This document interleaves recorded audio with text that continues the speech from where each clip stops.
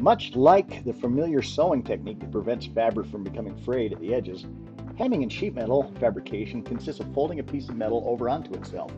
Hemming is commonly used to conceal an edge or a burr, to provide added strength, or to achieve a smooth aesthetic appearance.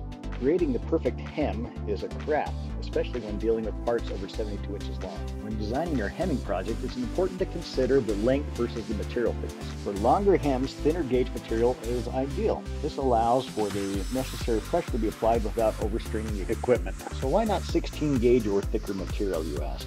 Well, the thicker material resists the bending needed for a clean hem, requiring more pressure that can compromise the metal's edge. Thinner gauge metals bend smoothly ensuring a crisp, even hem along the entire length of the part. It's precision engineering at its best. So remember, for long parts requiring a flawless hem, thinner gauges make all the difference. They're easier to work with and result in superior quality.